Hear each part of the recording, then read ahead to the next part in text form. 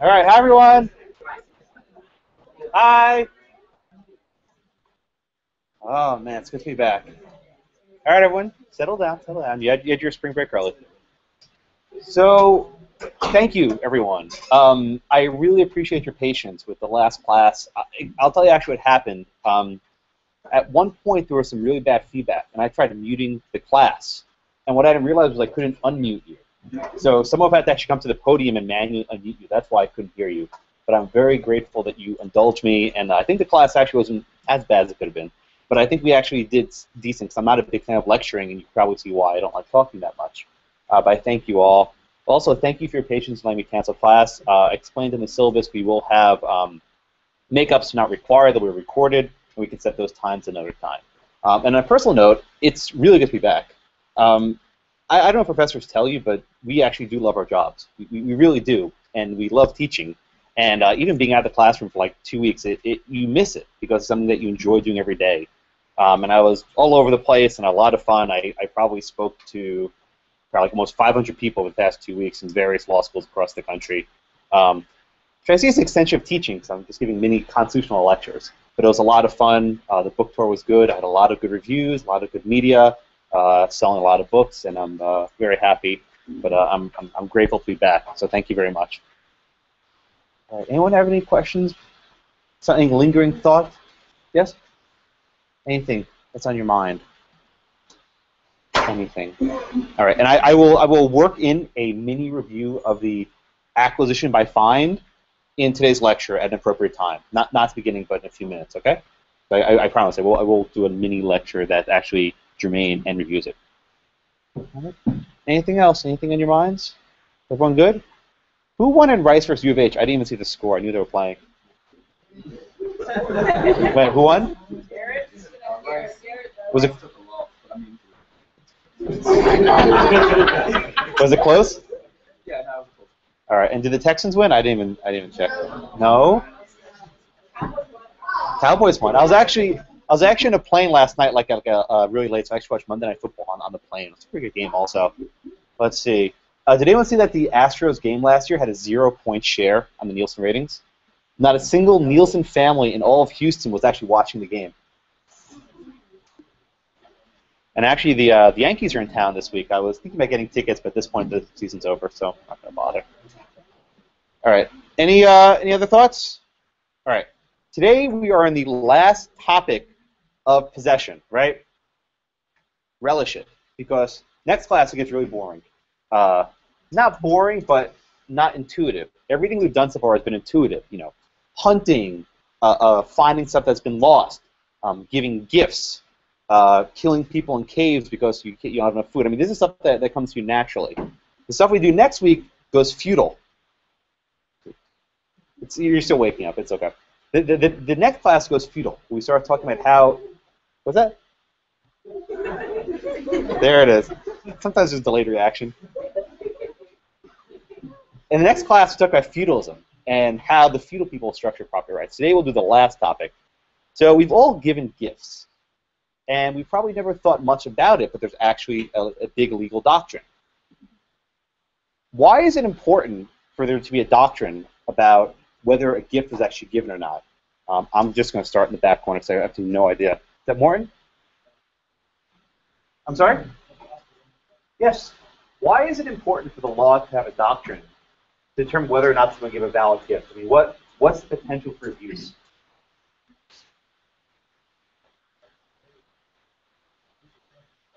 Uh, louder, please. Well, well, let me let me ask this question. Say, you know, we did last week because review. Remember we talked about bailment, right? Where you can give someone an object for a temporary purpose, like you give your clothes to the laundromat, you give your keys to the valet parker, right? When you give your keys to the guy at the valet, do you expect him to keep your car? Right. What, what do you expect when you give him the keys with? Right. Gifts is very specific. When you give something, you have a certain intent, right? When I give the keys to the valet guy, I expect him to wash my car for whatever amount of time at a restaurant, and then when I come back, he gives me my keys. This isn't like Ferris Bueller where you know he takes a joyride. Okay. The key thing about gifts is what's the intent. Do you intend the person to just have a bailment, that is to hold it for some temporary purpose? Or do you intend for the person to keep it permanently? That's the nature of a gift. The gift is permanent. It can't be revoked. So, um, uh, uh, Matthias, so if I give a gift, right, I give them a gift, and I say, I want you to have this forever. And I, I give it to them. And then the next day I say, yeah, never mind, I don't want it, give it back to me. And the guy gives it back to me. Who owns it? Yeah, I, I give you a present, I say it's yours forever, and the next day I say, never mind, I don't want it anymore. And I say, give it back to me, and you're a nice guy, so hand it back to me. You, yes, you get to keep it. Gifts are irrevocable, right? No right? When little kids, when you give a gift, it's permanent. And merely asking, can I have it back, is not enough to negate that. It's actually a way of giving a property right. Okay? Everyone okay with that? Just, I mean, this is what we all learned when we were little kids. If someone gives you a present, you can't ask for it back, right? Let's do let's do some terminology first, and I'm gonna beat this dead horse uh, dead horse over and over again. Whenever you look at these terms, grantor, grantee, donor, donee, uh, donee, even next to mortgagor, mortgagee, you always look at the last two letters. Um, so Andrew? Okay, so donor and donee. Who's a donor? Who's a donee? Good. And how do we know this? What's what's the little device we use? Louder, please. Yes, because right, me giving it to me. I, I know it sounds stupid, but you'll remember this. The donor is a person giving the gift. The donee is receiving the gift. This is we've done this in with I think eight or nine other prefixes. Okay. And uh, Adam, what are what are the requirements for a gift? There are a couple requirements that have to be present. Okay. Okay. So say it again, please. Okay. So intent. Okay. Okay. Delivery. Okay. What's the last one? Acceptance. Okay. The most important one usually is the first one. Am I giving you something temporarily? If it's temporary, it's a bailment. It's permanent, a gift, right? Second factor, is there actually delivery? This one proves difficult because often the thing you're given can't be physically delivered. So we do the case in a few minutes with all the furniture. You obviously can't hand someone a dresser because it's too heavy. Or you can't hand someone, you know, uh, uh, something that's that's maybe locked, to hand them a key. We'll talk about that in a bit. The third one, acceptance, is usually not a factor. Why? Because if a person doesn't accept the gift and they refuse it, then too bad, right? They'll never make to court.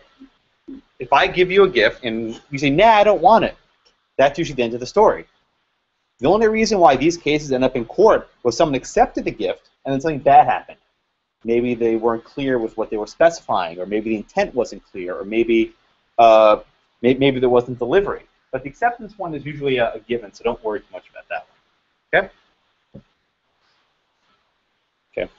So historically, the easiest type of delivery was physical, the act of actually transferring it from one hand to the other. Um, let's Stuart? Uh, Patrick? Patrick, why is physical delivery such an easy method of delivery that, that, that courts really like? Why, what's, so, what's so good about the physical delivery? Hmm? Right, it's clear. If I come up and I give you this bottle of water, say, here, this is a present, there's a tangible act. Everyone can see that I'm handing you this bottle of water. There's no question. Might be referring to maybe you know, the entire case of water, or maybe I'm referring to just a cup of the water. I'm giving you the. Okay? But unfortunately, most of the questions you'll consider in this class and on the exam will not be physical delivery. They'll be uh, one of the other two types. So there's two phrases, constructive delivery and symbolic delivery. Um, and they're, they're kind of related, but, but kind of not. Um, Aaron, you walk through the differences between the constructive delivery and the symbolic delivery?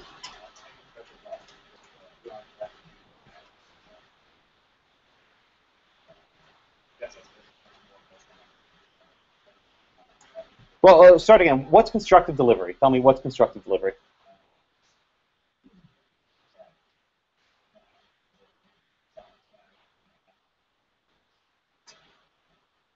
So if you ever see like um, you know, they always air these around Christmas, right? These commercials for Lexus. And, you know, and the mom wakes up, she's still sleepy, and the husband gives her like a, a pair of keys, right? And she goes outside. There's a nice Lexus with like a bow on top of it, right? Everyone, everyone knows those commercials, mm-hmm. right? He's not physically handing her the car, right? That would probably kill her. He's giving her. he's giving her something to represent. Yes, if you drop the car, and it would kill her. He's giving her something to represent it. Giving someone a pair of keys for a, uh, a, a gift is what we call constructive. So you can remember that like the keys. Um, Lee, where else have you seen the word constructive in any of other classes that you've had so far in law school? They have one semester down, so I mean, not, not too many places to look. But where have you seen the word constructive?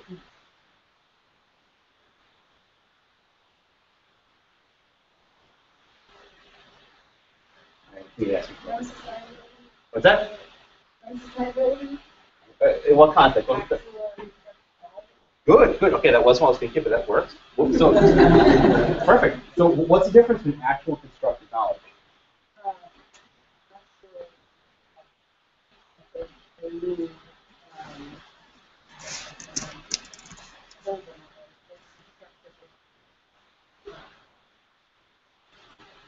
Okay.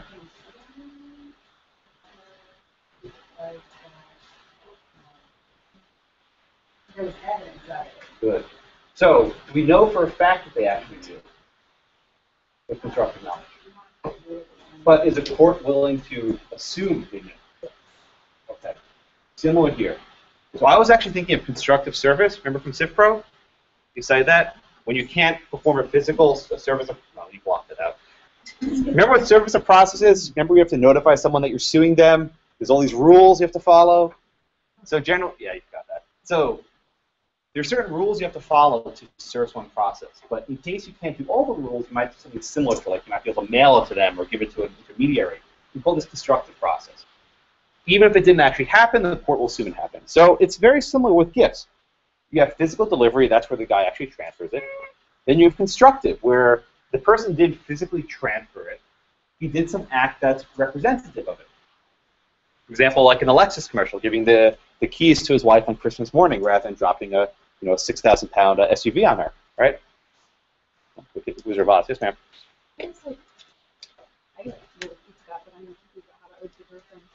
They're very similar.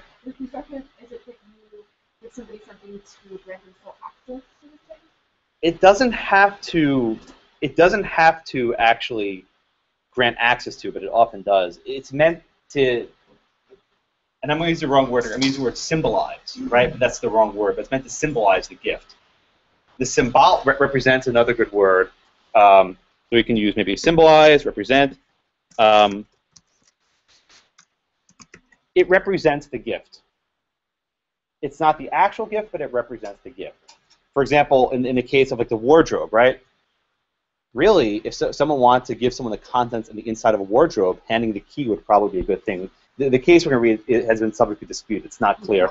Yes, sir.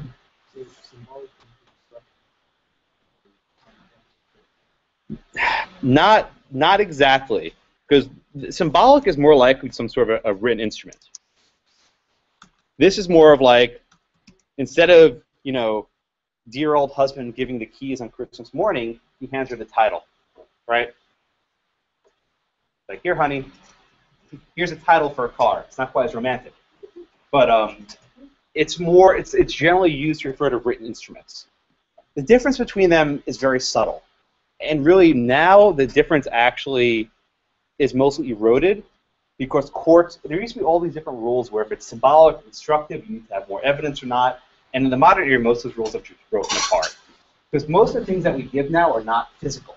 We give things mostly symbolic. So if I send you an email saying, "Hey," uh, you can have you know that that you know refrigerator in my apartment. That would be a good evidence of the gift. I don't have to actually hand over the refrigerator. Okay. Yes, sir.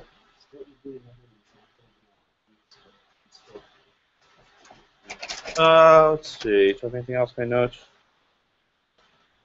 I'm sorry? What do you mean?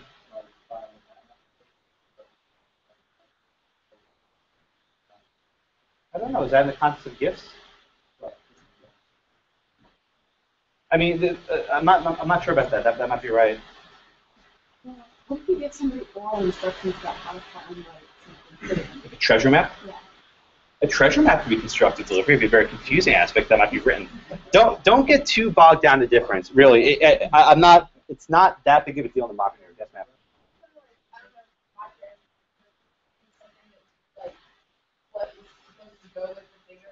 Yeah. Your saddle.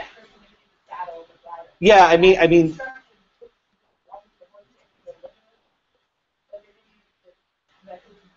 yeah, I mean, example I was going to give is say someone gave you like a, a book full of sheet music for the piano, the actual gift was a piano, right?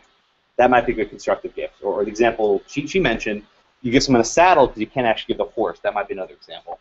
But don't get too bogged down because for purposes of our studies, it really does make a difference. Yes, sir. As long as something that's in some.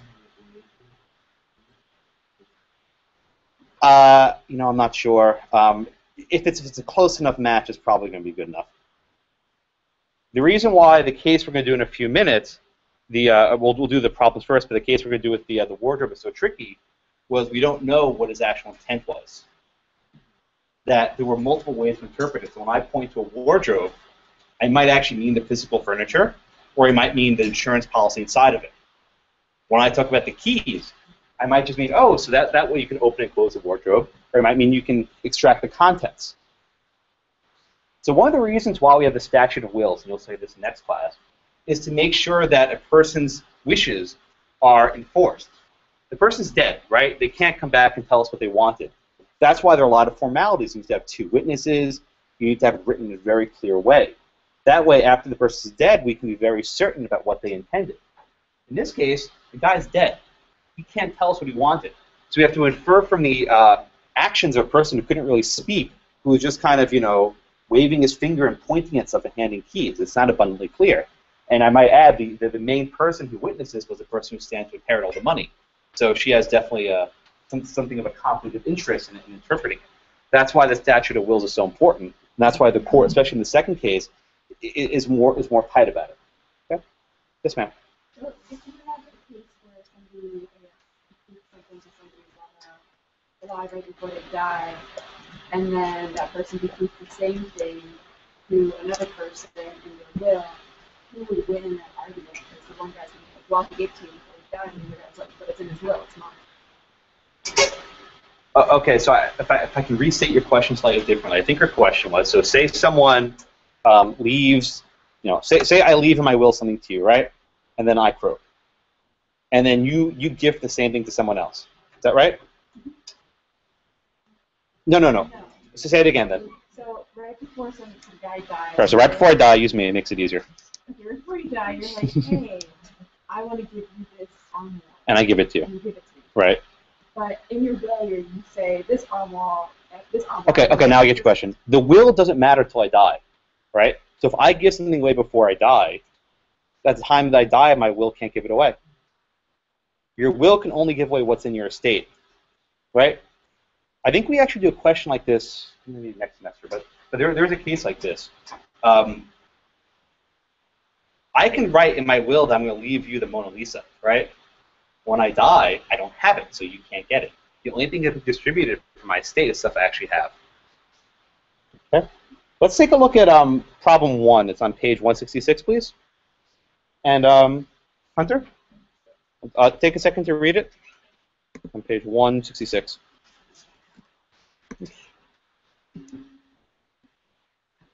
And this, and this question uh, kind of highlights the uh, difference between the bailment, leaving something behind, or giving something to someone temporarily and permanently. Okay, so so can you please read the question, please? Just the first, just the first uh, few sentences.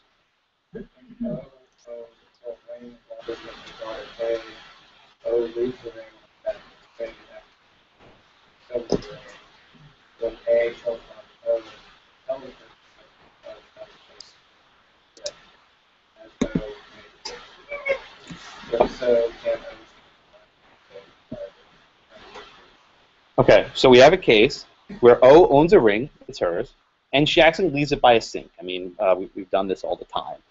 And the daughter calls her and says, "Hey, hey, mom, uh, you left this ring here." And then the mom says, "Oh, you can keep it as a gift." Okay. So Hunter, what do you think? Is there has there been a valid gift here? I mean, Oh, what do you think? my issue is, I mean, there really isn't.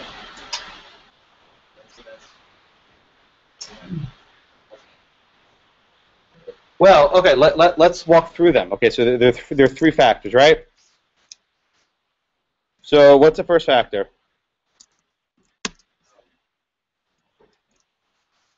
Was there intention to give?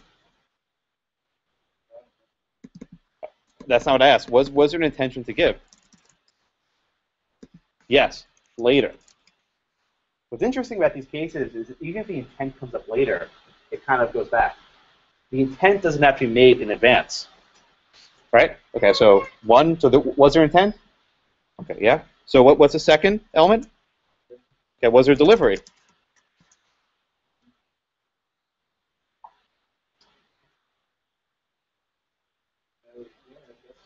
yeah, there was physical delivery.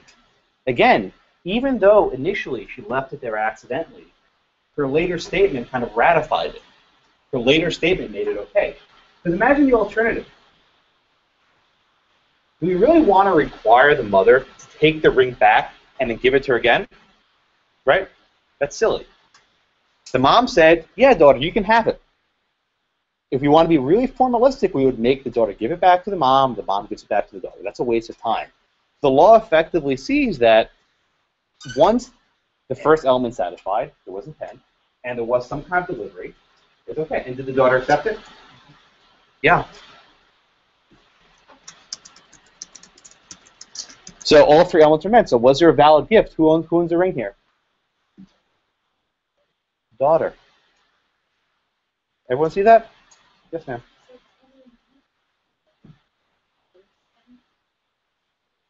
Within reason, yeah. Everyone see that? All three elements are present. Don't get don't get messed up by how the facts lay out. When your head in an exam, just go through three elements. If the three elements are present, then it's it's, more likely than not going to be okay. Okay. Take a look at um, the, Matt. Take a look at the, the second paragraph, please, in, in the first question.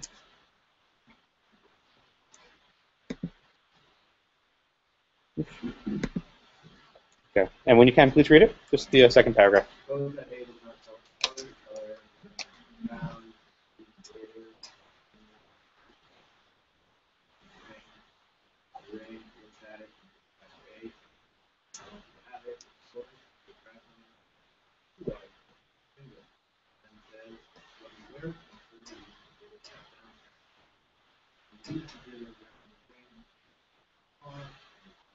Okay. So unfortunately, in this class, everyone dies. Um, my, my exams are very bloody because people have to die for property to move. It's very unfortunate. But people always die in very tragic, sudden ways, usually shortly after they make a conveyance of property.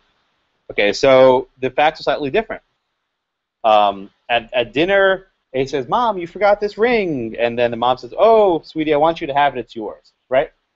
So at that moment, Matt, when she says, you know, sweetie, I want you to have it. It's yours, was there a valid gift? Just at that point. Stop at that sentence. The mom says, uh, quote, there was intent. Was there delivery?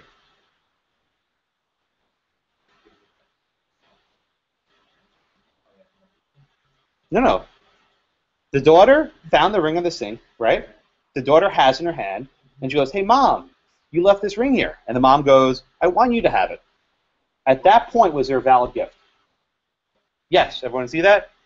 Because there was delivery, the mom left it behind in the sink. There was intent because the mom says, "Oh, sweetie, I want you to have this ring," and the daughter accepted it. Okay. Then we go to the next sentence. The daughter, without handing it back to the mom, tries it on and says, "Oh, it doesn't fit." Right? Doesn't fit. The mom says, "Let me wear it until I can get it cut down and fit for you."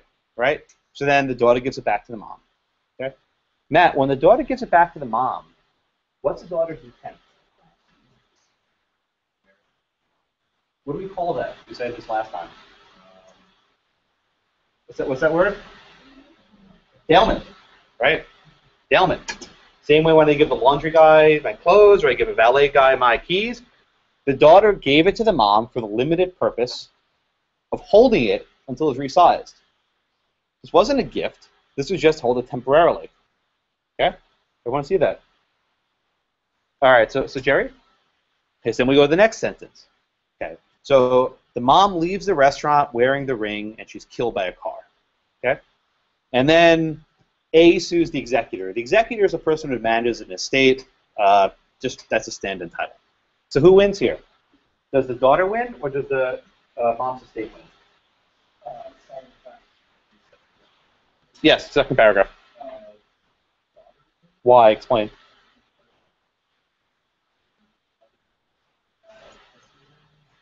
Yes, she was a she was a bailee. She only had it temporarily. Okay. The daughter gave it to the mom for a la- for a narrow purpose to hold it while being resized, wherever many days or weeks it happened to be. It was narrow. The daughter retained the possession, subject to that bailment. Okay. So be very careful when you're looking at these questions about what type of intent is there. Is there an intent to give it temporarily, or is this a permanent gift forever and ever and ever? Yes, ma'am. So No, it doesn't. And, and it's for the reason I mentioned before. It will be silly to have to require the daughter to give it back to the mom and the mom to give it back to the daughter. What courts have done is just cut that step out. They said if there was intent and there was delivery and maybe it was backwards, we'll just pretend it was like they were concurrent. It's kind of like a, a rule that's to minimize the amount of work that has to be done. Because with a ring, it's easy enough to transfer. You can imagine something bigger, you know, real property. It's kind of a pain in the neck. Um, uh, you'll actually do cases next semester where a person gives them a piece of land and the paperwork's not good. Then they do the paperwork correct later. They treat it as if it's done correctly. They don't make the transaction occur twice because that's a lot of waste of resources. Everyone see, see that? Okay. So, um, David, let's do the third paragraph, please.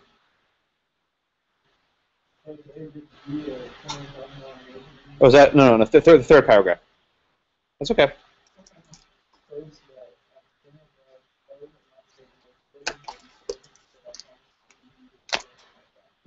Okay.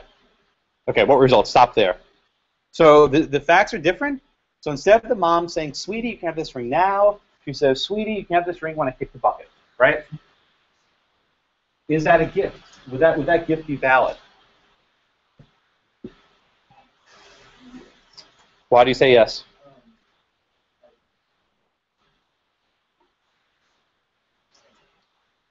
Well, what's different between this case and the second case? What, what, when, when, when will the gift become effective in this paragraph? No, no. When will this gift become effective? It's in, in this class. In this class, if there's a gift that happens after death, it's not okay for this class. That's your rule of thumb. We don't do gifts that are contingent on death. Okay? So I'm going to put two words on the board which you might have seen before, but I, I don't I don't know if you've seen it, so I'll define them. I, I might have given you myself, I can't remember. Intervivos and testamentary. Anyone, wh- what do these two words mean? Intervivos means among the living, not like la viva loca, but uh, la viva loca, but among the living. And te- what's testamentary? What's it's the opposite? Yeah. Okay. So this is a gift during life, and this is a gift during death. For this topic, we were only going to deal with inter vivos gifts. This is the thing with the New York and the guy in the painting and you know all that stuff. Oh, I spelled this wrong. I'm sorry. Testamentary. If it's a gift that takes effect after death, it's testamentary. If the gift is testamentary, it must satisfy the statute of wills. Okay, so who here has heard of the statute of wills? Anyone? Yeah? What- What's the statute of wills?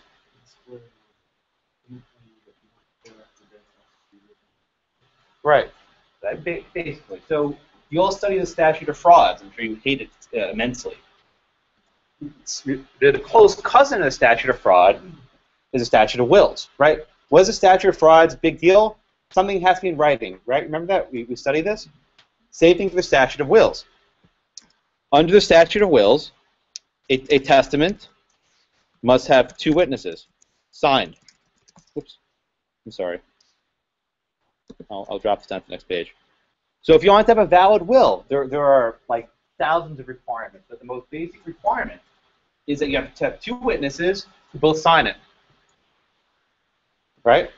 So for any gift that takes place after death, two witnesses have to sign it.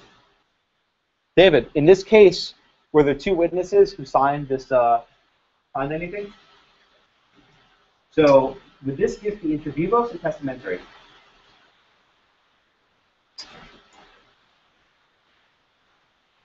Why? When's the gift going to affect though?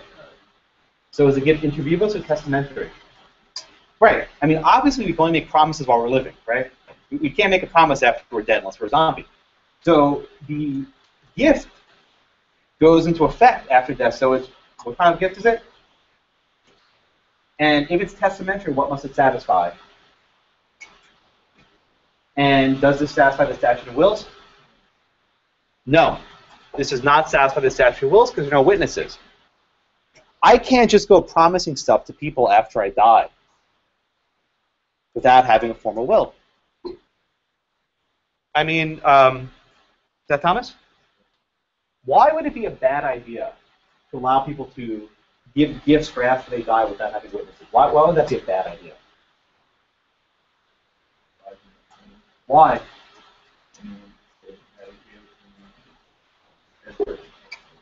Exactly. Once I'm dead, once I'm room temperature, I can't contest stuff in court. The reason why we have these laws is to protect the dead guy. That if he wants to give a gift, and we want to honor his intent, it has to be in writing with two witnesses. And not just the people who stand to inherit it, two independent witnesses. Yes, ma'am.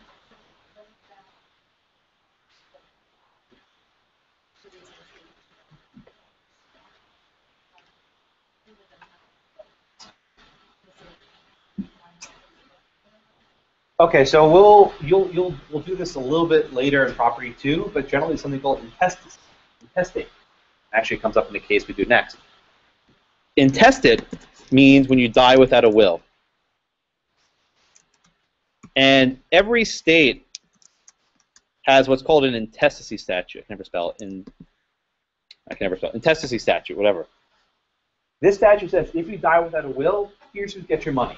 So usually, if you're married and you have no kids, the wife pretty much gets everything. If you're married with kids, the wife gets half, and the kids get the other half. It varies by state.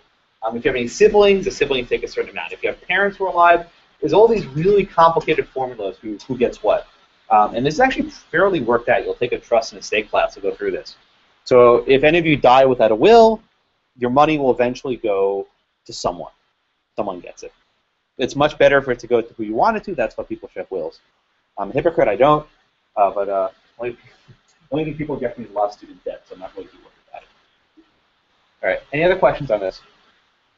Okay, let, let's do um, a question. The, the fourth paragraph, please. Could you please read it? Yeah, right there. Yeah, the, right here. This paragraph being supposed. Would you mind? Suppose A used to be a twenty-one thousand dollar engagement ring. Later, the engagement was broken. No matter who broke the engagement. Okay, so just stop for a second. I'll call back from you. Um, it's funny. Last night I was on the plane uh, uh, coming back, and there was a, a guy sitting across from me. Pretty sure he was a lawyer, and he was reading what looked to be a divorce settlement agreement. Um, I probably shouldn't have been looking at it, but I, I was bored.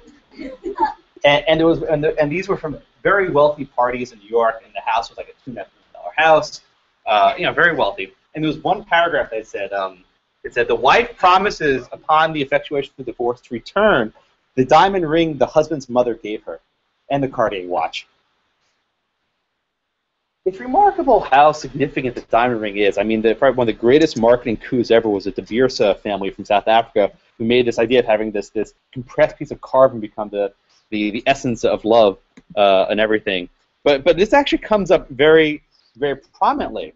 So this was much more timely last year. Actually, I think my second Kardashian reference of the semester. So, uh, I'll ask you just a couple of variants. So, say a couple gets engaged, and then the wife breaks it off. The husband demands have the ring back. Anything happens. The wife breaks it off. She runs away with, you know, Kanye West or something. I don't know. Before the marriage? Yeah, yeah. The, before the engagement, before the engagement's consummated. Well, I will. Yeah. It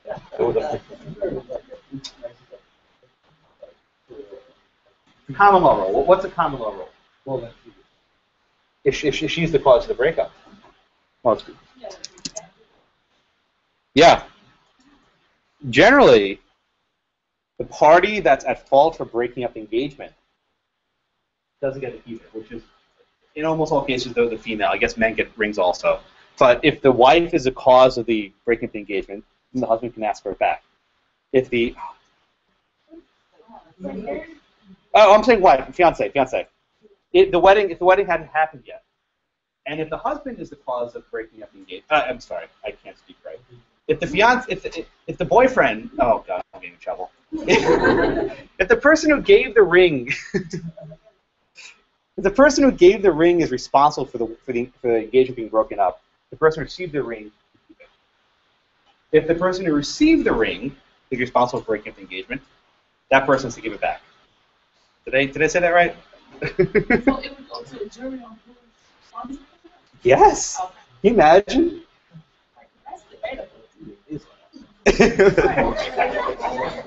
Can, can you imagine? But but the easier one is after the wedding. The ring's kept permanently, right? The the person who received the ring doesn't need to give it back because it's viewed that the wedding consummated the promise. I mean, he mentioned conditional gifts. Effectively, the diamond ring, if you want to speak in legalistic terms, is a gift on the condition of getting married, right? I'm giving you this rock on the condition that you marry me. If you don't marry me, I get the ring back. If I mess up and the wedding and the wedding doesn't happen, you get to keep it. But once the wedding's consummated, you know, him and Kanye at Little North West, you know, at that point they can't get the ring back. Actually, they were never married. Was there a hand up over there? No. Does that seem fair? Does anyone not like that rule? yeah, go ahead. Go ahead. I'll call you next. Go ahead. Yeah. Well, I, I, don't, I don't like it because I mean, let's say she does something wrong, Mhm. make you make the male break off the engagement because I break it off because she. So she's trolling for the ring, basically. Yeah. You? Yes. Was your hand up?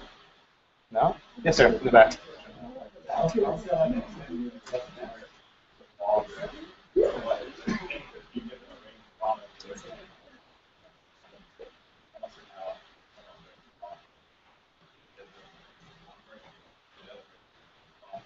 Yeah, but the promise isn't kept. So, so you like this rule? I mean, the rule says the person who's caused the breakup has to give it back. Ah, this, this, these, cases are actually litigated, and the reason why I mentioned that that, that, that, that separation agreement that I was peering at my, my lawyer uh, uh, uh, passenger was because people take this really personally. And what they stipulated in that agreement was not to common law. The common law says the wife gets to keep the ring. I'm guessing the mother of this guy was she wants it back.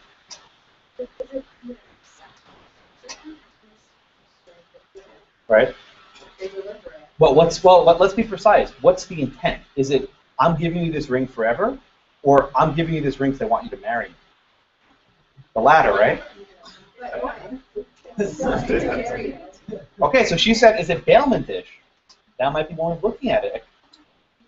You can hold this so long as you get married to me. But once you marry me, you get to keep it forever. Right, right, right. Right, there's actually a lawsuit, I think that um, uh, Kardashian, what they were married for like 72 days? Yeah, and, and, and then uh, he wanted the ring back, but under the law, he's not entitled to it. Yes, in the back. Yes, yes, tell us, please. That's exactly right. Football player for the Texans, by the way. Yeah. A former, former. He was. He was drafted by them, wasn't he? Yeah, I remember. Over Reggie Bush. Go ahead.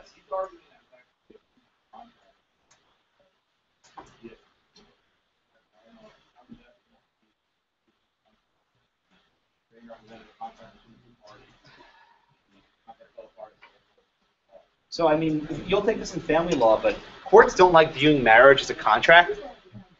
It's considered like against public policy, so I don't know how far the argument will go. Uh, but he, Williams actually got married, right? No. No. Well, has that case been resolved yet, or is it still working No, its? I'm curious what happened. Is it, and he's, at, he's in Buffalo now, right? I think. Okay, I, I saw I saw a hand somewhere in here. Yes, ma'am. Yeah, you right there. What if we're in a situation Oh. Get a prenup. really trust situation? Yeah, I mean that's something you can specify in a prenup, and, and uh, uh, you you can ex ante contract that. So if you're signing a prenuptial agreement, you can specify in the event of a divorce that the ring goes back to the family. So it's my impression that these are the kind of kids that are very like standard. Usually you really get one very I think totally unlocked. It's very rare that you just give something. When someone makes a gift to a college, you make them a condition that they continue giving something to Scott Gates. Right. And if they don't do it, they get Yeah. So this is like the dream. I mean, unless you're giving some gift for the goodness of your own heart, are usually strings attached to it, and there are conditions. Um, I'll give you an example. So at Georgetown Law Center in Washington, there was an alum who donated like five million dollars to building a fitness center. Right? You think it's a waste of money, but Washington's expensive. And the condition was to put his name on the on the you know, on the wall by the fitness center. He was he was actually in Texas. He was indicted and, and convicted of certain crimes, and the law school stripped his name off, but they didn't get back the money because they'd already spent it. And he's actually suing them now, saying that listen, my gift was contingent on you keeping my name on the wall. You need my money back. You probably need money for reasons now. Um, but this happens, uh, and you often see this where, where you'll do this next term, where I can give a piece of land on a condition. For example, I convey uh, to, to the South Texas Law School uh, this this piece of land so long as it's being used for a law school, right? And then say the law school turns into a medical school. Under the law of property, the law would, the property would actually revert back to me. I would get it back. And you'll do a case, actually, I think later later this semester, where um, these people give uh, land saying, I want this land to be used as a school. And the school turns it into like a storage facility for school supplies, right? And he actually gets it back. Yes, sir.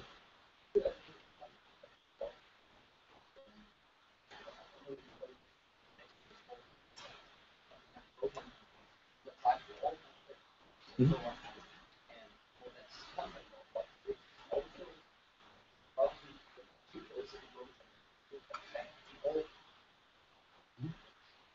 Yeah, I mean, when you make a promise, the intent, let's be very clear about our intent. Your intent matters. Am I giving this to my daughter forever because I love her? Or am I giving to the school because I want my name on the wall, right? Or am I giving this to Kim Kardashian because I want her to, I, I don't even know why you do that. But, you know, but, but, but uh, so, so in fairness, Brittany gave the ring back because I think she was at cost of breaking up. You, you might know better than I do. I, I don't really remember. Uh, but she, she did give the ring back. No. What? Uh, two people once. What? All right, one at a time. Yes.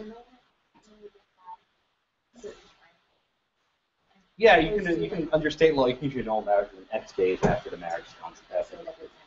Yeah, I mean, yeah, yeah, and I'm pretty sure that this ring was paid for by E Entertainment Television. All right, let, let's go on to a less savory uh, relationship. So let's let's do the Newman versus Bost case. And uh, Clay, I'll call you in a second, okay? So did anyone think there's something awkward about this case? Right? We have old Mr. Bost. Um, he's actually an interesting guy. I looked up his obituary. Um, he actually fought in the Civil War. He served as the mayor of his town for like almost a decade. Um, he was very wealthy, and he ran a number of successful stores in this uh, North Carolina town. Um, his wife died fairly young, and after his wife died, this this, this lovely 18-year-old girl, um, uh, Julia, yes, Julia moves in with him, and uh, she lives with him alone for almost a decade, right? And uh, he wants to marry her. Uh, okay. Anyone get some weird vibes in this case? Yeah, I, I guess she she serviced. Uh, so, yeah, I mean, the, the implications there's some hanky panky going on, to put it mildly. but the actual property uh, issues are, are actually kind of uh, tricky. So this case, uh, this case focuses on, you know, what was actually intended to be given, right? Okay, so Clay, let's let's walk through the facts of this case. Um, we have this kind of dramatic scene where Mr. Uh, Mr. Van Pelt is is uh, you know old and enfeebled. He can't really talk well, um, and then towards the end of his life, he uh, he brings Julia, his dear uh, housekeeper, into his uh, into his uh, room, and he starts doing stuff and gesturing. What what exactly does he do when, when Julia comes into the room? Okay. Okay. Okay.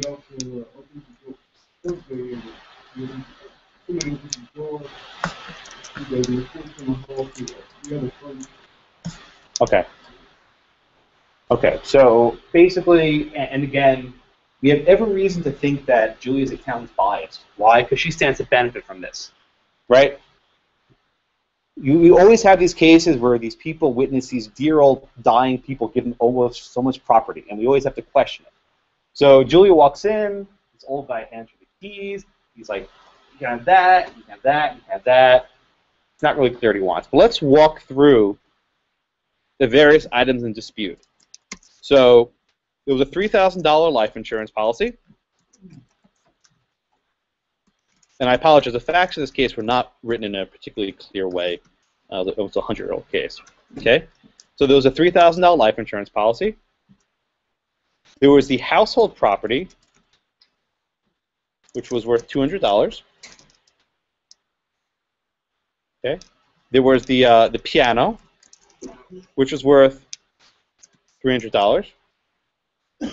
And then there was the furniture in uh, Julia's room, which was 45. Okay? So here were the main things that are given. So um, let's go down to the front row. Brian, would these gifts have satisfied the statute of wills? Why? No, that's right. Were these gifts meant to be given during Mr. Van Pelt's life? Okay. So before, remember we said there's inter vivos and testamentary. Which one does this fall under? Testamentary. Okay. But why is this case not dismissed under the statute of wills? You're correct. The statute of wills would not be satisfied. There's no writing. What What about this case is different? well, because what I understood, the issue was not whether the issue was whether constructive No, let- let, let's let's let's stay back before. Why is this case not just dismissed because it doesn't satisfy the statute of wills? What what what what what term does the court use to say that this is something different? term you might not have heard before, but it's in the reading.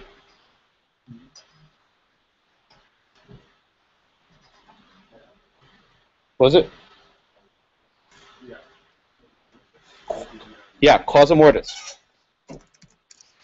Okay. Oh, I'm sorry. Causa mortis. Okay. This is something kind of special. It's something that's kind of in decline, but it's a very narrow gift. Causa mortis, I mean, not straight translation, but it means in anticipation of death, right? Like the death, the, the deathbed, you know, whatever. If you're on your deathbed and you know you're going to die, and you don't have time to bring a lawyer to get the two signatures all the other garbage, you can give a gift. You taken evidence yet? In evidence, something called a dying declaration, right? You, you see this always on Law and Order. Generally speaking, you can't admit testimony from out of court unless it's been you know, in court to testify. If a person's dead, they can't. If I'm on my deathbed and I confess or I give some evidence, that can be used in court. So the, the, the law has developed ways of making sure that people who are dying don't lose all their uh, wishes because they can't get to a lawyer in time. That'd be a very terrible thing. Uh, I'll pause to tell a story um, uh, uh, that, that's kind of more legal ethics than anything else. So um, a friend of mine uh, knows this lawyer, and uh, this lawyer had been working for many years in Maryland. He had a very good practice, and he was doing some work for a family that just didn't have a lot of money. They just really couldn't afford much, and the mother was on her deathbed, and she was about to die. And there wasn't much of the estate, but she wanted to make sure that her kids uh, got it. It was in the house. So on the phone, the lawyer and the mother discuss in terms of the will, and the lawyer draws it up. And, and then the, the wife goes, you know, come to my, um, you know, come to my hospital tomorrow. We'll sign it. As he's on his way to the hospital, the mother falls into a severe coma. She can't sign anything, and he has his document here. And the kids basically tell the lawyer, listen, my mom's not going to sign this. Let me sign this for her. I'll just, I'll just forge her signature because this is what she wanted. I mean, these are the exact terms she told you on the phone yesterday. There's no surprises. This is what my mom told you. And let me sign it because if we don't sign this, my mom will die without a will. We have to go through intestacy, which is a very complicated process. There's probate. There's a lot of things that can get taken away, and there wasn't enough of an estate. Effectively, the kid said, if this goes through probate, there won't be anything left. We'll have to sell the house that we want to keep because the various fees. So you, you will all be lawyers in about two years. How many of you would, would uh, let let the son sign the document? really? Okay. How many would not? Okay. So there's, there's there's an old rule that lawyers say is a lawyer always goes home at night, right? The lawyer never goes to jail. So here's what happens in the aftermath. The lawyer says, "Okay, I'll I'll let you sign it." Okay, document signed. Everything looks good. The mother passes away, you know, the next day. Shortly thereafter, the kids, there were a couple sons that started fighting. One of the sons was living in the house, and he wouldn't let the other sons in, or something like that. And the other son brings a suit based on this will, saying, "Hey, listen, we're supposed to share this house equitably." What do you think the jerk son does? He says the will's not valid because it was forged. Right.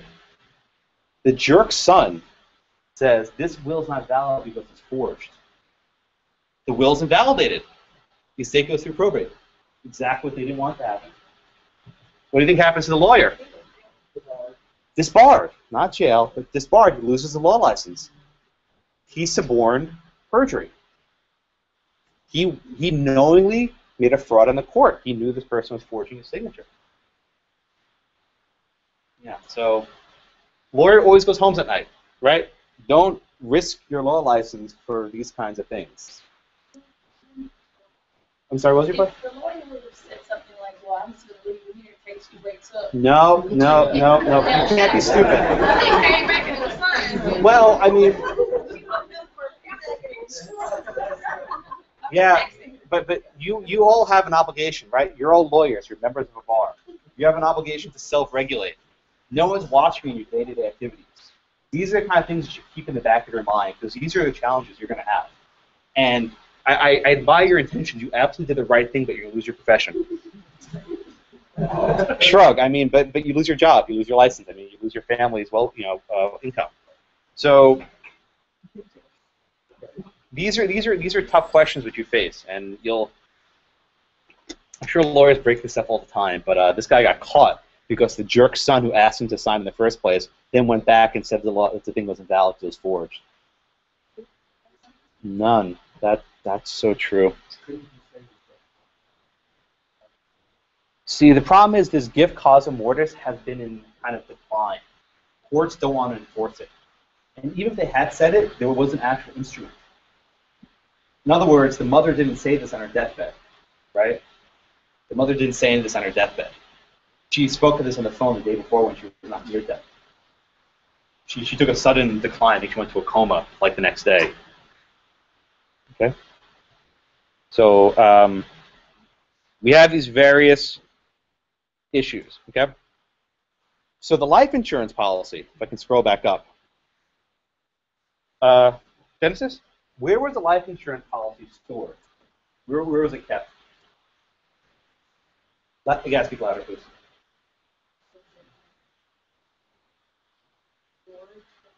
Right, and was that drawer locked?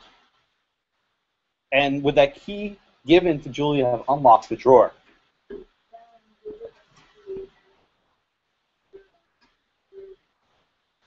Okay. So let's just imagine this, right? This guy is really wealthy. He's been with this lady for a decade, right? He gives her keys. What do you think his intent was? To that include the, the life insurance policy. Okay. Who here thinks that he really just wanted to give his dear old friend this heavy old wooden wardrobe? Anyone? Who here thinks he was trying to give her the, the life insurance policy inside? Right. Everyone knew what was going on here.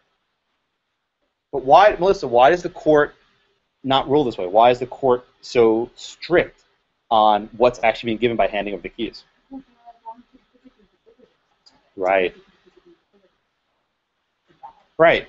This isn't a case where he has to drop a 6,000 pound le- a 6,000 pound Lexus on her. He could said, "Hey, go take these keys, open the drawer, and hand me this piece of paper," and they could have given it to her. Right. That would have taken one minute. He could have even just taken the keys and pointed at the drawer, and I'm sure she knew what was in there. She could have figured it out. But she didn't do that. So the court here construes symbolic delivery very narrowly. Very narrowly. It's like, yeah, I'm giving you these keys so you can open up this wooden wardrobe. That's it. All right? Um, the court distinguishes some other cases, like this, this Thomas versus Lewis case in Virginia. Um, and in this case, there actually was a delivery of the stuff inside the drawer. He actually did transfer it. And, and I think what the court says, and this is not necessarily good law anymore, this is a hundred and something year old case, but where the articles are capable of manual delivery, right, where the articles can be delivered manually, they should be. George, why, why is this a rule the court wants to adopt? Why is such a strict rule? Easy. Yeah. Because, you know, possession, you know, obviously if you gave it to her and it's able to be given to her, then they don't have to go through the whole process of trying to figure out who's lying. They actually Yeah. understand his intent. They actually know that based upon she having this, what would actually happen. Right. And she accepts it. So it's an easy way to meet all that. Right, it's easy. I mean, and, and let, let's be cynical here for a moment. This is a 28 year old woman who's been living with an 80 year old for a decade. There's probably some hanky panky going on. She's not exactly the most credible witness, right? She has a serious intent in portraying the facts in the light most favorable to her. Yes, sir. Okay. Yes.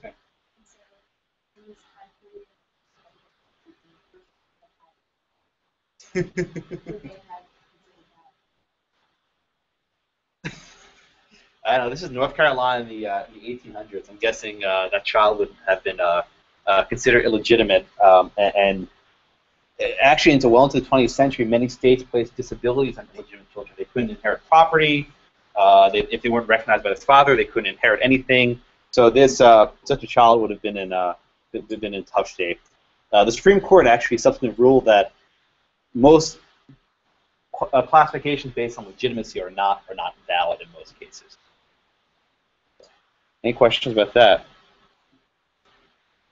Um, oh, everything, absolutely everything. This still might have been an issue? Did he say that? I'm saying, yeah. I'm adding. That would have been a closer call. I mean, he wasn't exactly communicating well. He was dying. He, he couldn't really talk much, and in his mind, he probably did the best he could. But if he, if on his deathbed he said, "Julia, sweetheart, I want you to take that life insurance policy and, and have a wonderful life. I want you to have everything in this house, every last article," the court would probably gone the other way. I think. Yes, ma'am.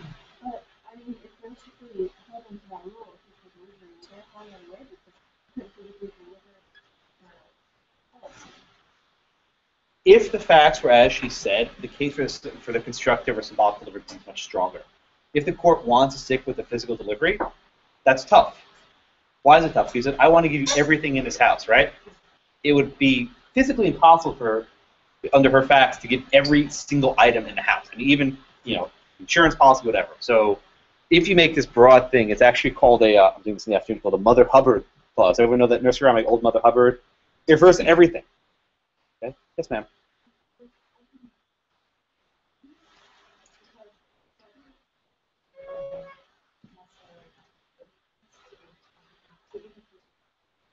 Yeah. Yeah, I, I, I think that's right. The court mentions for, at least under North Carolina law in the 1800s, one witness required for the causa mortis. Um, and I think the, the housekeeper Houston was there also, so I guess she could have been the witness. So it, it would satisfy the gift causa mortis, but would not satisfy the statute of wills because these two independent witnesses. And, and to be precise, there's nothing in writing also. Uh, is a hand up over there? Yes? No, you? You? Go ahead. I want to make note. I don't know if you made it clear why, uh, I'm looking at what it is mentioned, the statute of, wills. Yeah. Why exactly did they not, just because they wanted to go with this, this doctrine here? Eh, This is not made up. This is a legitimate doctrine. This is gift causa mortis. This was a thing. And they existed simultaneously? Yes. Okay, so they just chose. Yeah, I mean, the statute of wills is usually what happened. I mean, I, I think it's fairly rare that people make these conveyances on the deathbed. Hopefully, people at the time they're, they're of age, they have some sort of, uh, um, you know, will. But, but these laws exist for the purpose of people who don't and want to try and get rid of it on their deathbed. So these exist concurrently. Um, I don't think you'll see gift causa mortis too much anymore. I think it's, it's somewhat in decline for the exact reason that the California, I'm sorry, the New York case cites the next one. Because it's so easy to not have enough evidence to see if it's fraud or not. Yes, sir. In the case of causa mortis, if something miraculously happens, you can still take back your gift. Oh, that's a good question. So you make this this confession causa mortis, and then, then you have this miraculous recovery. Uh, I I'd have to check North Carolina law. I'm guessing yeah, um, because the next day you can then execute a will, which would nullify the the, the deathbed confessional. This actually comes up in evidence where, um, well, I can't remember how it goes in evidence, but it actually happens where someone's making a deathbed confessional and they miraculously survive, they try and exclude the statement as hearsay. They try and exclude their own statement. I, I can't remember how that comes out, but you will say that in evidence.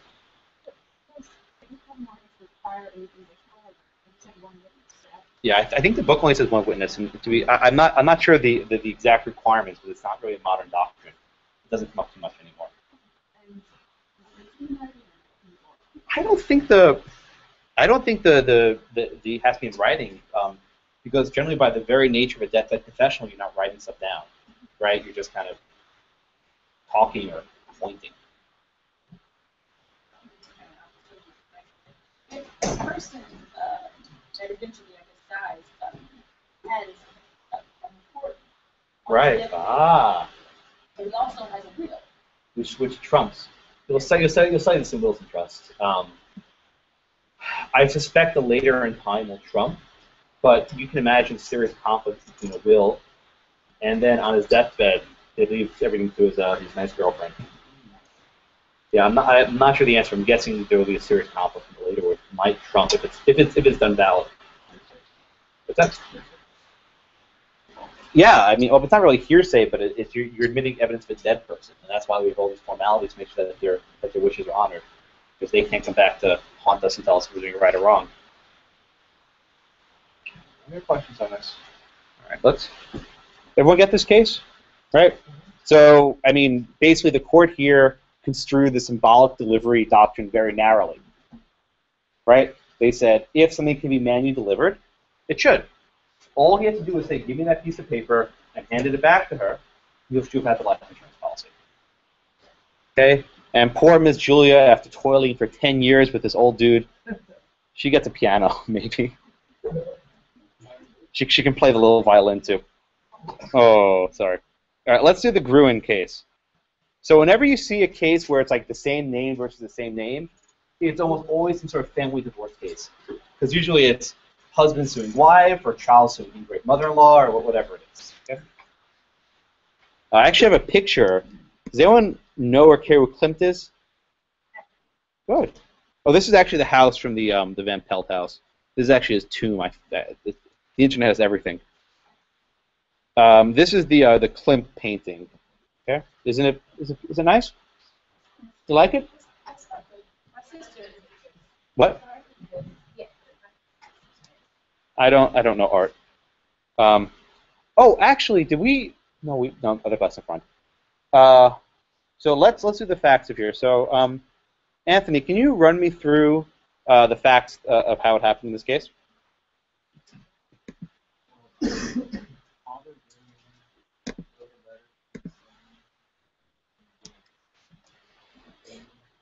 Right. A little bit louder, please. When? Right. Okay. So first, dad writes to his son, "Son, you know, I love you so much. When I die, I want you to have this really expensive painting." But Anthony, what happens while while the father's still alive?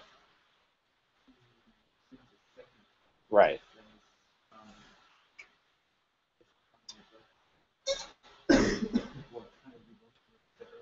Well, more than revoking, what does he ask his son to do with the first letter? Destroy it. And, and on what advice does he tell his son to do this? oh, some terrible lawyer, right? So it's, like, son, I want you to have this painting when I die. Oh, never mind, son. Uh, my lawyer says that would be bad. So instead, how, how, what does he say in the second letter, Anthony?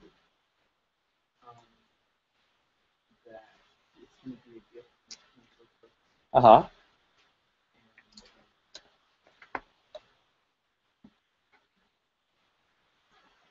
When, where would the painting reside during the rest of the father's life?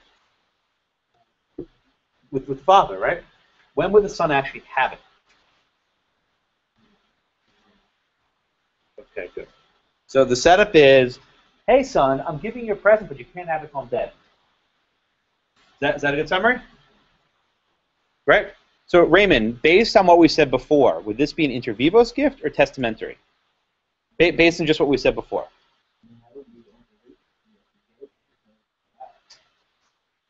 When would he actually get the painting? Hmm. Okay, so let's do a show of hands. Who here thinks this is an inter vivos gift? Okay. Putting aside the court's holding, just based on what we studied, okay? Who here thinks it's a testamentary gift? It's actually split pretty evenly. So this is a this is a kind of a tricky case. Um, uh, by the way, the case came about because it's always the evil stepmother refuses to give back painting. It's always always evil stepmother. So, the, the, what did the trial court then say, uh, Jeremy? Did the trial court think it was a testamentary gift or inter vivos? No, no, the trial court, starting from the below. Yes, right. So the trial court said it was testamentary. Um, and I think that that holding is somewhat intuitive, right? This is no different than the case with the ring. Remember the mother said, hey, sweetie, you can have this ring when I die, right? We did that you know, 20 minutes ago. And, and whoever said it said, no, that's a testamentary gift because it goes into effect after I die.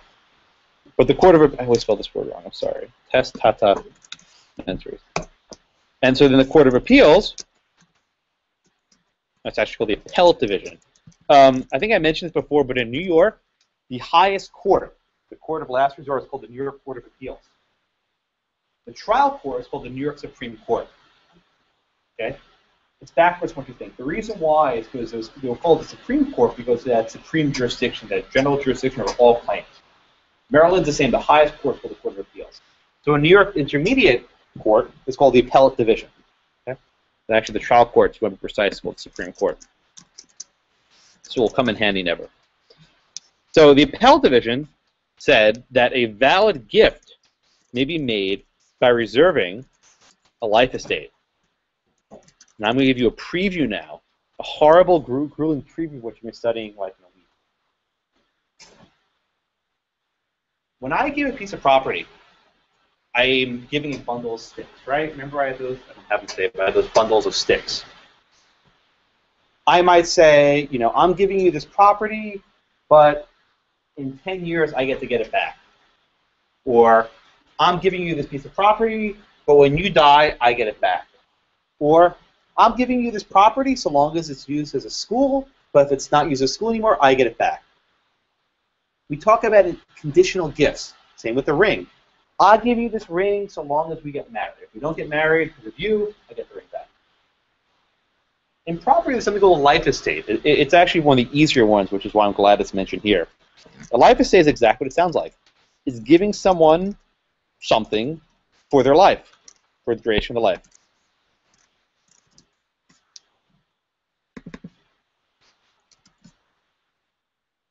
If I say, you know, um, Anthony, I want to give you this property for your life, right?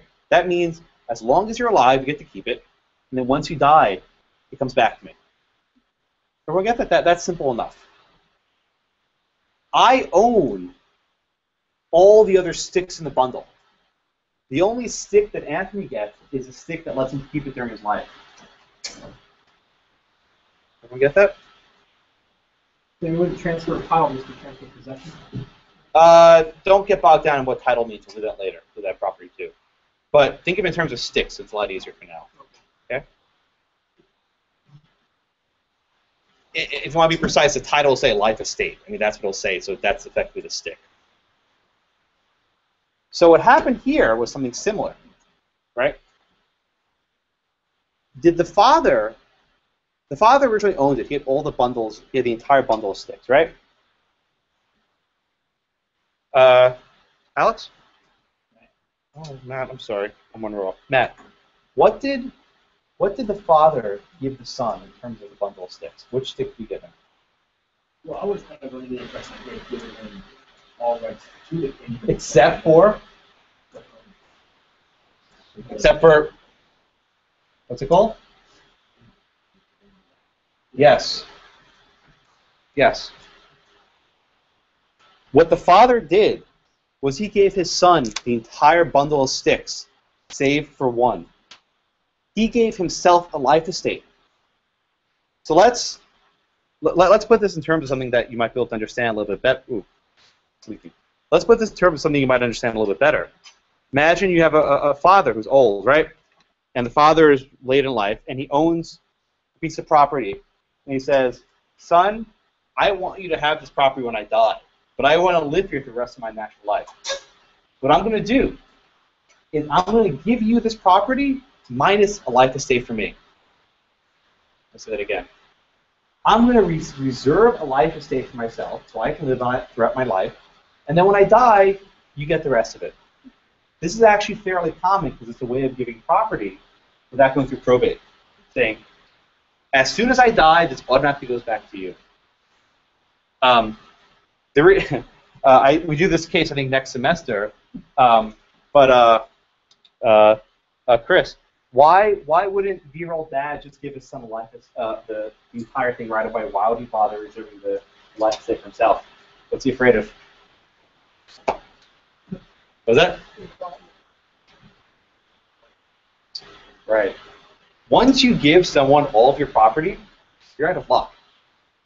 Son might kick your up dad off the farm.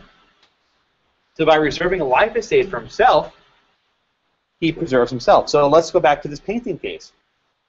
If the father had given the son the entire painting, the entire bundle of sticks at his 21st birthday, what could the son have demanded at that time?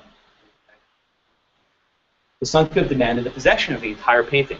I mean, you can't really chop up the pieces. He would demand the painting. Did the father want to give up the entire painting when he's 21? So, so Ashley, how did the father then structure this transaction on the advice of his, of his attorney?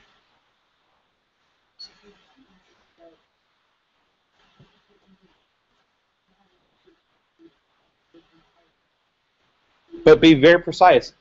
What what interest did he give to his son? When? At what point would the son get ownership? Yes. The father gave the son 100% ownership when he dies. Okay? So I, I can write like this. So, you know, while the father is alive, the son has what we call a future interest. You're going to hate this word in a few weeks. If you read ahead, you know why. The son has a future interest. The interest doesn't really mean anything now, right? I mean, you can't chop a painting up into pieces. The son can't take it from the father's uh, library. That'd be that'd be conversion. So this, the, while the father's alive, the son's a future interest. When the father dies, the future interest becomes a possessory interest. This is a good preview of the next topic. It's not enough to think about who owns something now. Property is all about who owns it in the future. or when some condition happens. That's what makes this class so annoying.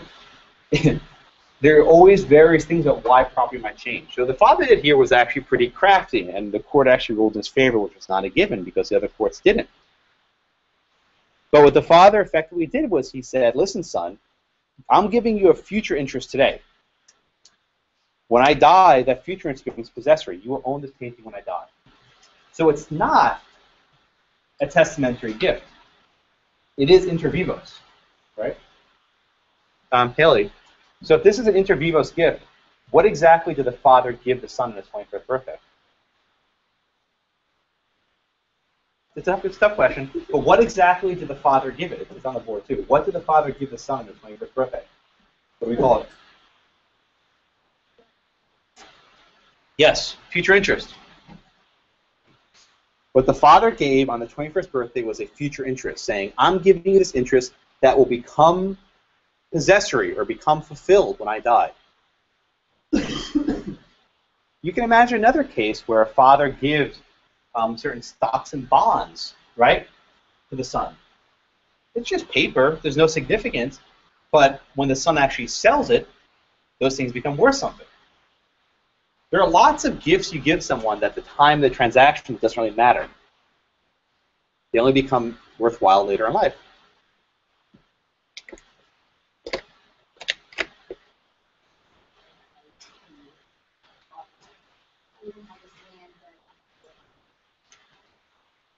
Right. What, what that would be is a father be preserving life estate for himself.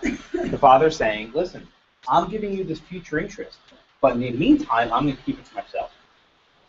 Yeah, we're going to spend like six weeks on this topic, so if you're confused, don't be. I'm trying to keep it as simple as I can. Yes, ma'am. Uh, kind of, yes. So what's interesting, though, is after the father makes his conveyance, right? Can he back out of it? Well, go back to the beginning of the class. Go back to the first few minutes of the class. What intent? What was the father's intent when he wrote this letter? When? On his death. Okay. After this conveyance is done, who holds that interest? Who holds the right to it at the father's death? The son. Can the father take it away? Prior to his death. I'm asking you. How can how could the father take it away? Who who holds that right? The son. The son. So can the father take something back the son has? That's right. Everyone see that? The second the father wrote that letter, he gave the future interest to his son. The son had the future interest. Think of it in terms of the bundles of sticks. The father gave the son a stick in that bundle. Can the father take that stick back? No, because the son has it. Yeah, the son took it. Yeah. Yeah, then that would have been fine. But but there was evidence in the record that the son actually accepted it, and the son acknowledged it. He didn't mention it in his divorce proceeding, which is interesting, but not not really germane.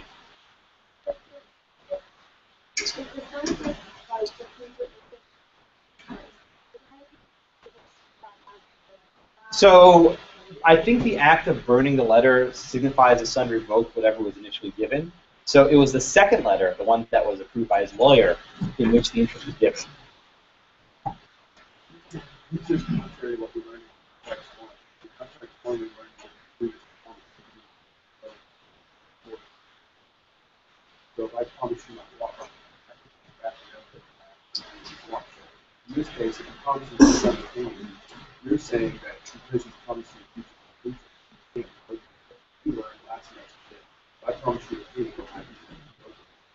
So what was the first thing you learned in contracts that the UCC? Does it apply to property?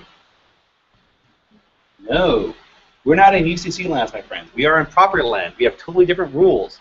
Um, you'll see a lot of property, too, um, a movement to try to incorporate contract doctrines into property law.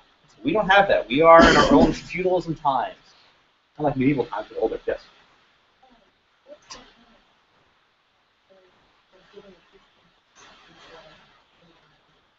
So that way it doesn't have to probate. Probate's expensive and time consuming. But I'll give you a historical point. Wills are fairly recent innovations. Those didn't exist in medieval times. The way people directed property during medieval times was through these kinds of grants. This is like 800 years old. This is all stuff long before wills. That's a historically that's why. Yes, sir. Uh, the father has a black state, then Yeah. he can transfer that. Yes, you can. And then, so he, if the father transfers his life estate Yep. interest to, say, his wife, Uh-huh. he dies, it, it revolts back to his son, correct? Yes. You'll say that in a couple weeks. But the only interest at this point the father has is the life estate in his painting. Right? That's the only stick he has. Even if he gives a stick to his wife and then lives for another 50 years, his stick only lasts his lifetime. It's time to his life. You can't give more than what you have. That's why I keep thinking of the sticks. The stick says, I have this painting as long as I'm alive. I can give it to someone else. Now, you'll say this later, but people usually don't like buying life estates. Why? Because if someone else dies, they lose it. No one wants to buy property from someone who's going to die and then they, they, they lose it. Questions? We'll study this a lot more. This wasn't even uh, uh, that important of an aspect of this case, but, but it's a good opportunity to introduce it without too much uh, uh, doctrine. Yes, sir. They were trying to get around the inheritance tax. Because if this was a gift that would be testamentary, that would go through the will, there's a significant tax you have to pay. Um, and this painting is worth like, like a million dollars, whatever. So lawyers try to find ways of giving property to their, not lawyers, but lawyers help clients give property to their kids without paying the inheritance tax. They have trusts and other stuff. We'll do this later, property too. But this is a way to get around taxes. Um, it's funny, you'll say this. Most property law has been invented as ways to get around taxes. Um, feudal taxes were invented, and that's why we have all these other conveyances. Uh, because basically during medieval times, the king would tax property that was descended upon death, so they invented these crazy words so that property was actually descended upon death. They started taxing that, and they found other ways. So we've been like in an 800-year-long struggle to like you know uh, not pay taxes, like the the, the, primogenitor Tea Party uh, back in the day. Okay. So let's let's actually just break down this case then. We have the three interests. We have the intent, we have the delivery, and we have the acceptance, right? Uh, is that the is that Natalia? So uh, tell me, was there intent? What was the intent in this case from the father? Be precise. What was he giving to the son? And what do we call that? Okay, you can look back in your notes. No. Yes. So the intent was a father gave a future interest, and we say he preserved a life estate. Okay. Uh, uh, Natalia, was there was there delivery?